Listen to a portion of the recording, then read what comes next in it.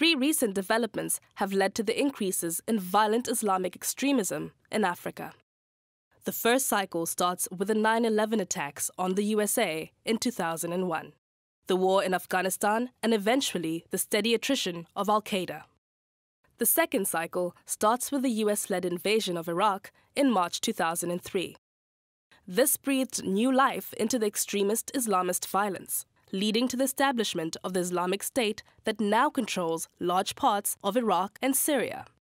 The Arab Spring that started in Tunisia in December 2010 started a third and overlapping cycle.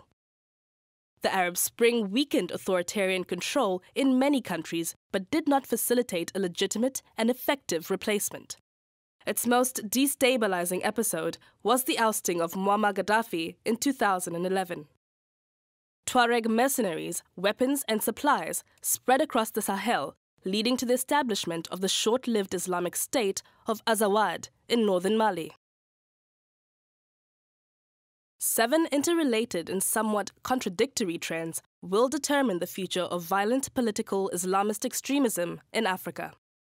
First, the wars in the Arab Peninsula are becoming more deeply internal and sectarian between Al Qaeda and the Islamic State and between Shia and Sunni.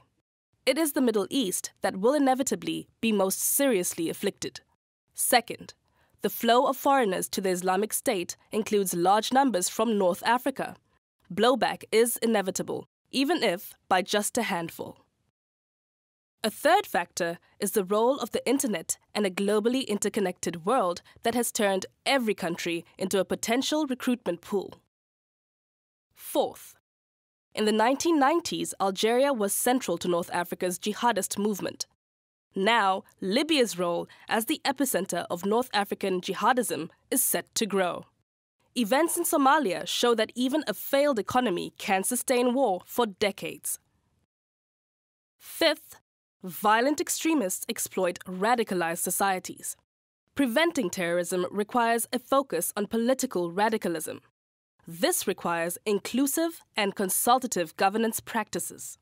But countering violence requires onerous safety measures, detailed intelligence gathering, effective law enforcement, interagency coordination, and, when necessary, the use of force.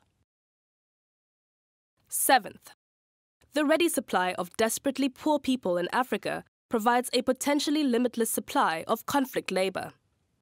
This enabling environment can be altered most effectively by focusing on relative deprivation and human development. Repressive political systems exacerbate these dynamics. Eventually, good governance in Africa, a respect for institutions, not individuals, and inclusive economic growth is the best defense against radicalization and eventually extreme violence.